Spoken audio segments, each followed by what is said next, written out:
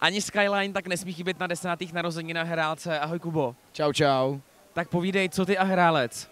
Super, ty mega party, super zvuk, všechno, lidi, libovka prostě. Co dodat, slyšíš můj hlas, nemám nic, nezbylo. Hlas máš nádherný náhodou, to je jako v pořádku. Hele, kdybys měl pozvat lidi do, do Hele, kdybys měl pozvat lidi do Herálce na narozeniny, co bys jim řekl? No tak kdybych je měl pozvat, jim řeknu přijďte jako. Já myslím, že to stačí.